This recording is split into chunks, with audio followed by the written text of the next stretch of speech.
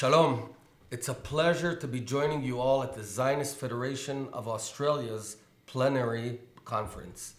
Shalom to all of you.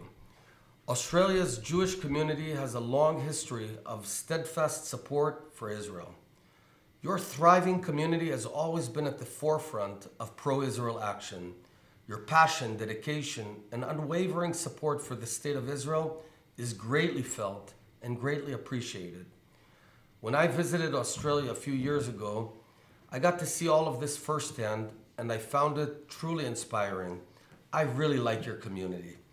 Last year, before I became Prime Minister, I joined Jeremy Leibler for the ZFA's online lockdown learning series, and I said something that I want to reiterate today.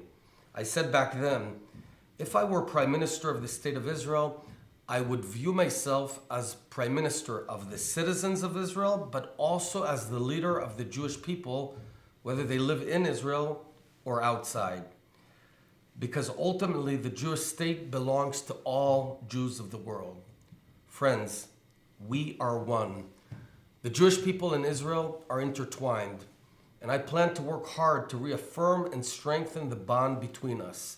The stronger Israel's connection is, with Jews in the diaspora, the stronger our nation is altogether.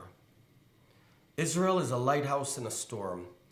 Yup, we may be surrounded by a whirlwind of challenges and we may be surrounded by a lot of darkness, but we stand strong here in Jerusalem.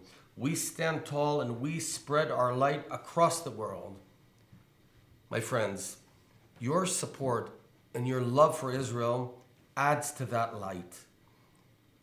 I sincerely thank you for speaking up, for standing up, and for shining the light of Israel to the world.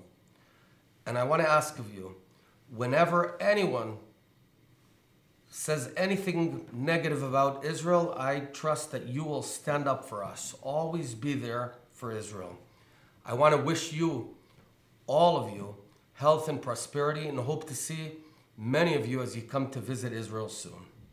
Toda.